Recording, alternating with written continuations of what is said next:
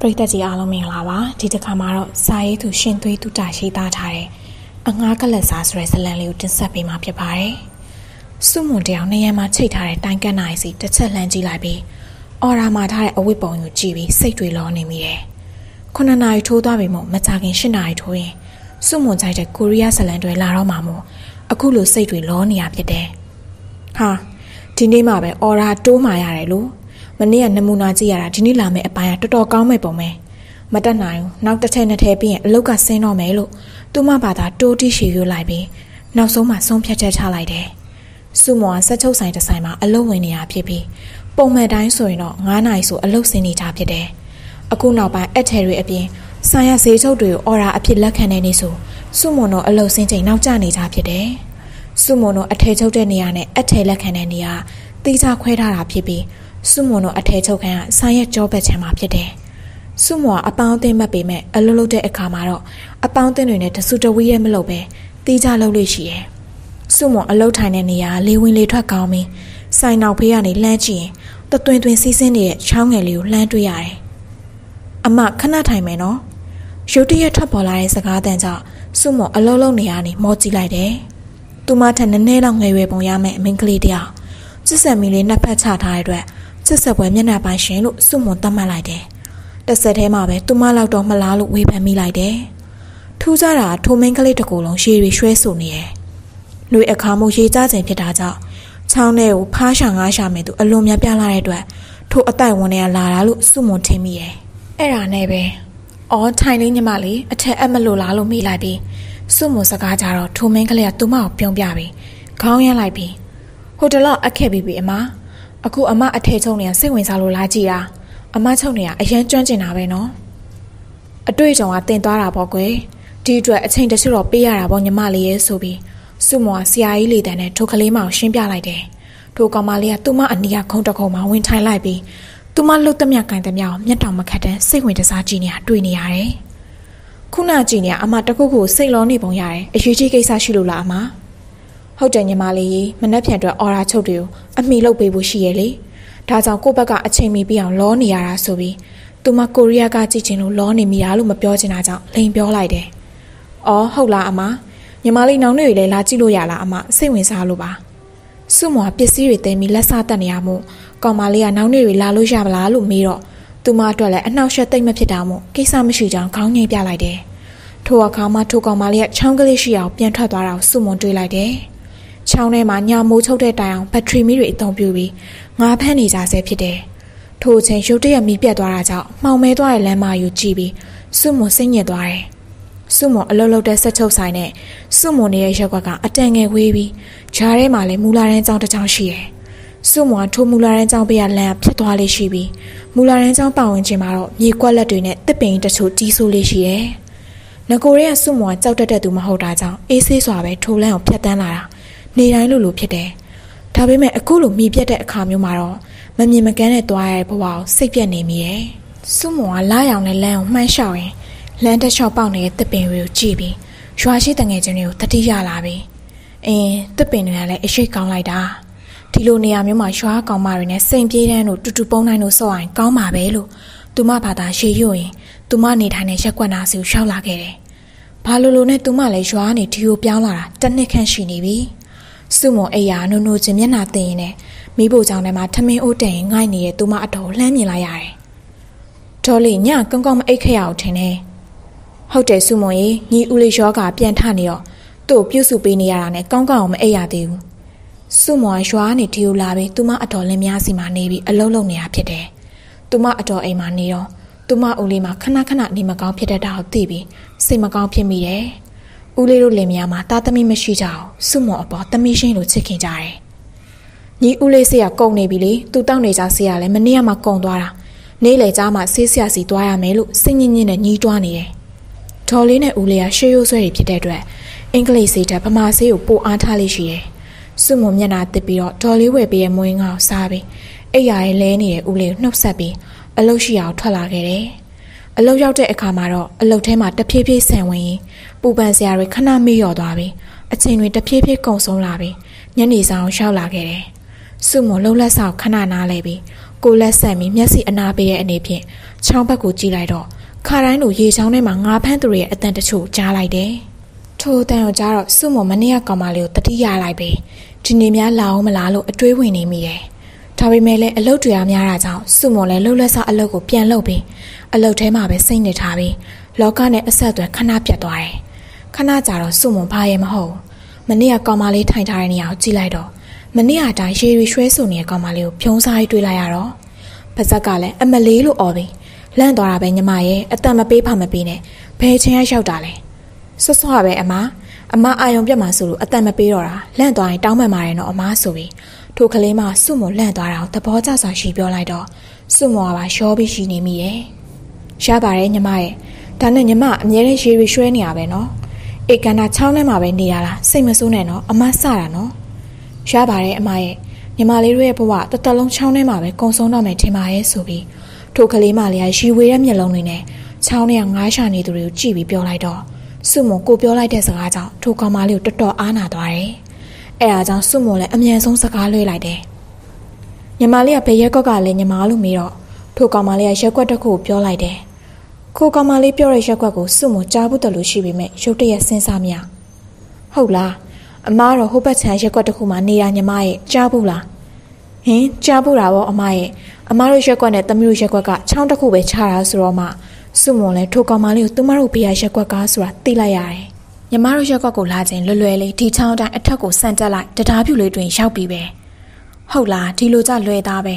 အမတော့သွားနေပြန်နေကြမူလာတဲ့ကြောင်လန်းလွယ်မသွားတတ်တော့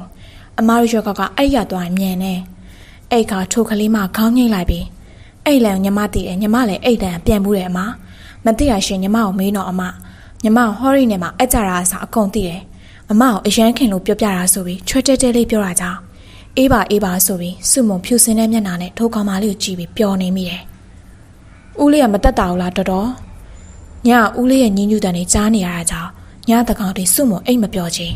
မနဲ့ရောက်တော့သူမတော်မေးကြည့်တော့အတော်ဖြစ်သူကခေါင်းငိမ့်ပြတယ်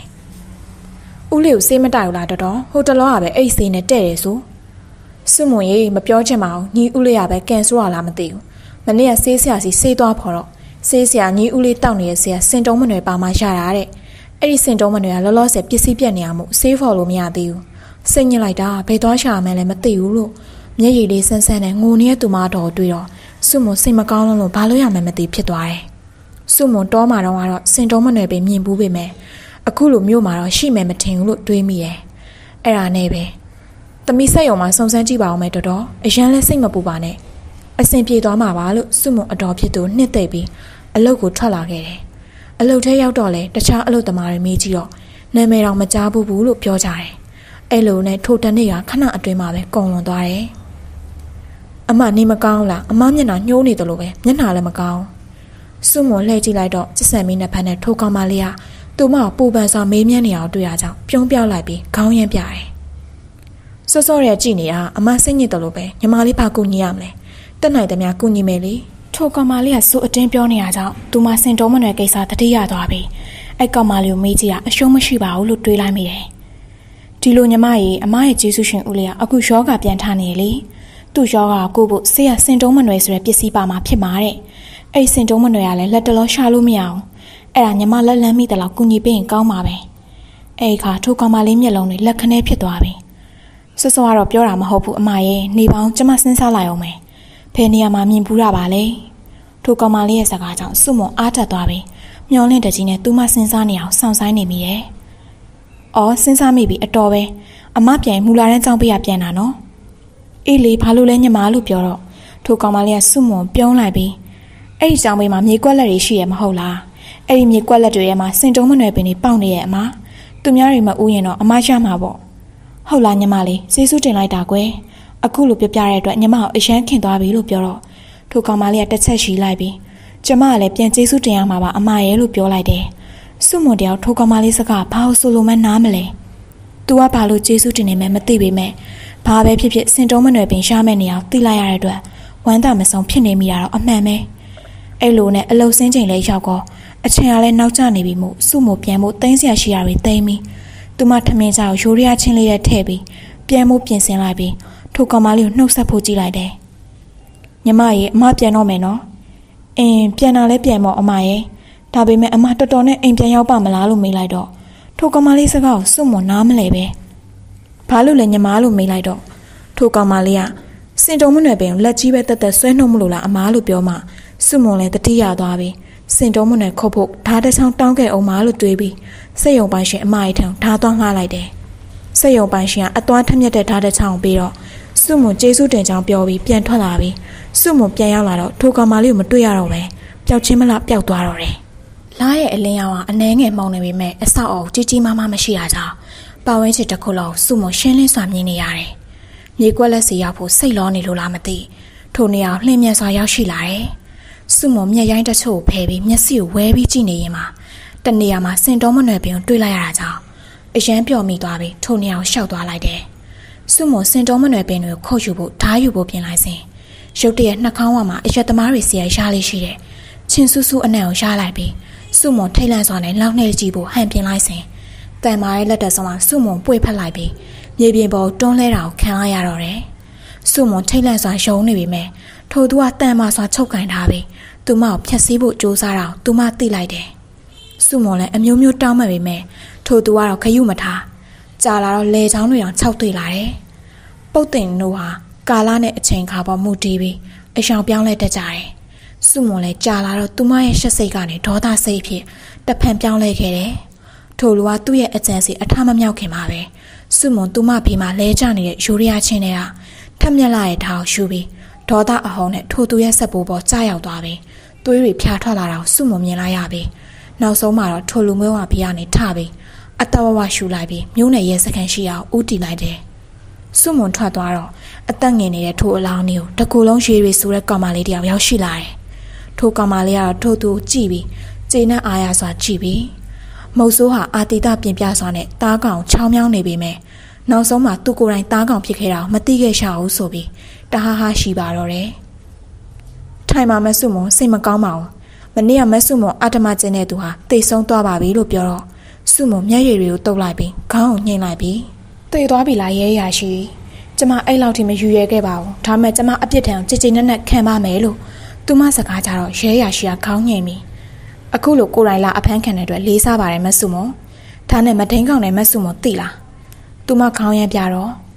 မဒိန်ကောင်စစ်ဆေးတွေ့တဲ့မြတော့မဆုမလွန်ခဲ့တဲ့ရက်တွေကလေးကချောင်းမြောင်းနေခဲ့တာ နောက်ပြီးမဆုမပြစ်ဒဏ်ပေါ့ရော့မှာပါဟင်ဘာလို့လဲရှင်ဘာလို့လဲဆိုတော့မဆုမွန်ကိုကိုကိုကာကွယ်ဖို့ပြုမှုခဲ့တာလေ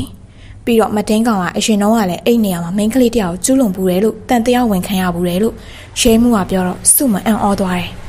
ရှင်အဲ့တော့က तू ထောင်မကြဘူးလားဝမ်းနေစရာကောင်းတာအမှုမပြီးသေးခင်ပဲအိမ်မင်းကလေးရှက်လုံးလို့ချောင်းရည်ရှမ်းနေတဲ့အချိန်မှာချောင်းနဲ့ခုန်ဆင်းပြီးကိုကိုကိုတက်သေးခဲ့တယ်အဲ့ဒါနဲ့ပဲဒီလူလွတ်သွားတာပေါ့လို့ရှင်းပြတော့ စုမွန်အံ့ဩလုံးလို့ပါဇက်အဟောင်းသားနဲ့နားထောင်နေမိတယ်အဲ့ဒါနဲ့စုမွန်လည်းအဲ့ဒီမိန်းကလေးပုံပြလို့ရလာရင်လို့ပြောတော့ရဲမှုလဲကိစ္စမရှိပါဘူးဒီမှာလို့ပြောပြီးရဲရရှိပေးလိုက်တဲ့ပုံသူမကြည့်လိုက်တော့သူမလက်တွေတုံလာပြီးစပွဲပုံလွတ်ကျသွားတယ်ဓာတ်ပုံတွေကကြစ်စံပြီးနှစ်ဖက်ချထားတဲ့မိန်းကလေးဟာသူမကိုပြုံးပြနေလျက်ရှိနေတော့တယ်အခုပြပြပေးသွားတဲ့ဇလန်းလေးကိုကြားနေတတ်ကြမယ်လို့ထင်ပါတယ်နောက်ထပ်တင်ဆက်မဲ့ဇလန်းလေးကိုလည်းစောင့်မျှော်အားပေးကြပါအောင်ရှင်